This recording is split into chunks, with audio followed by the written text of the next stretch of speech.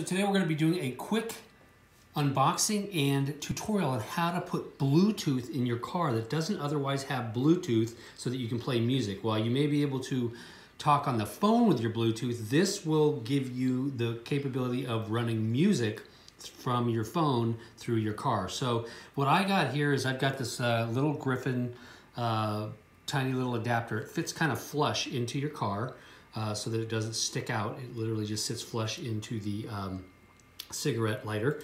And then I got this new uh, thing called the Baseus.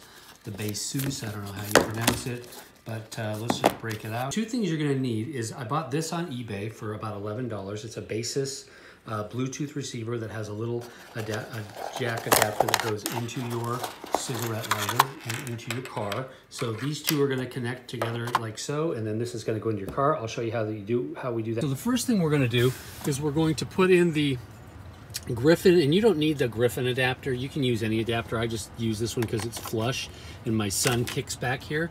So basically I put that in. You can see how that sits nice and flat.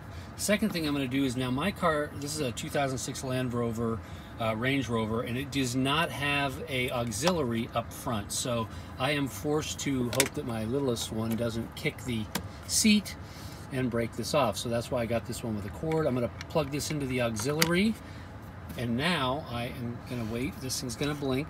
You're gonna see the little light starts blinking. And then we're going to basically turn the phone on, which I'm not gonna be able to do with this, but if you turn the phone on, you're going to have uh, a Bluetooth that says Baseus, and then you're gonna go to your auxiliary, hit your auxiliary, and in this case, I won't be able to show you that because I don't have uh, an auxiliary device to do it, but just go to your Bluetooth settings, look for Baseus, click click and uh, hit the auxiliary turn the volume up and you have got Bluetooth music coming through your car and you can do that on any car. I mean it works as long as you've got the auxiliary adapter and the Bluetooth uh, adapter that I've got here you're good to go. And there's a million of these adapters. This just happens to be the one that I bought. Anyway hope you guys are good. If you liked the video you know what to do. Appreciate it. Bye.